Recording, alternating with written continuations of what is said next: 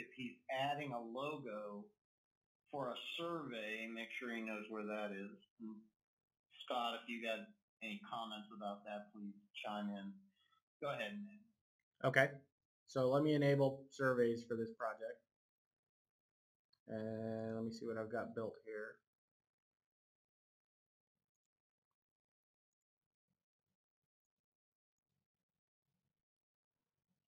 So to add a logo, you would select your file here. And let me just grab a.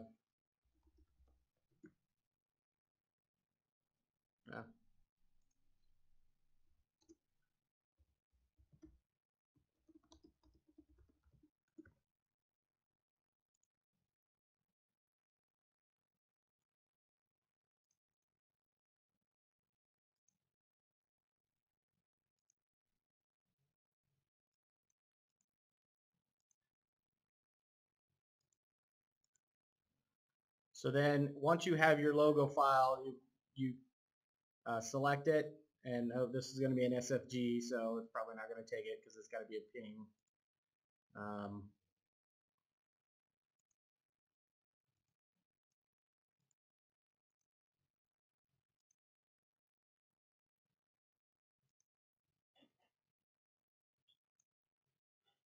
there we go, where a JPEG would work.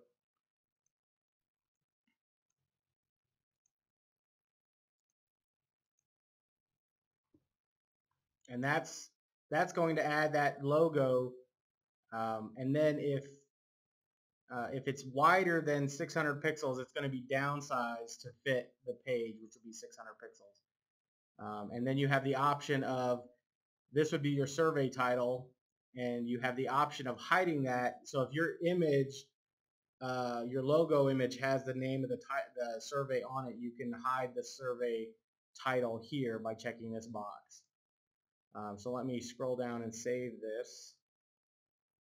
And then we'll open up the survey. And there you go. So that'll be the logo on the top. So that's adding a logo into your survey settings.